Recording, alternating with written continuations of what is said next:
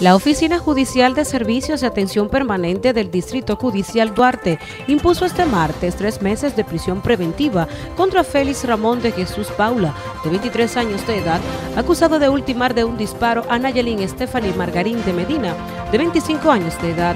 Se le impuso prisión preventiva al caballero, tal cual había solicitado el Ministerio Público. En ese caso, eh, tenemos tres meses para presentar un acto conclusivo en su contra.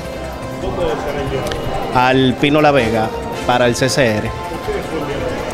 Eh, por una cuestión de seguridad. El caballero es un agente del orden público. Aquí en San Francisco de Macorís eh, sería eh, lo correcto que se enviara a otro lugar para garantizar su integridad física. Mm, vamos a seguir con nuestra posición y ya al final presentaremos una acusación coherente. se le impuso medida de cohesión, como nosotros entendíamos, los elementos de prueba que habían todos lo vinculan a él con el hecho en cuestión. Eh, solicitamos un año, la juez entendió que con tres meses era suficiente, pero nada, fue enviado al Pino a la Vega por el espacio de tres meses. Para nosotros ya en menos de tres meses entendemos que serán presentados los actos conclusivos contra ese ciudadano.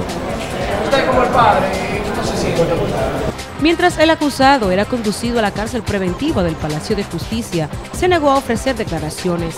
Recordamos que este hecho ocurrió el pasado 24 de julio en la residencia ubicada en la calle Cristino Cerro, esquina Pablo Olivier, de esta ciudad de San Francisco de Macorís. Para NTN, su noticiero regional, Joanny Paulino.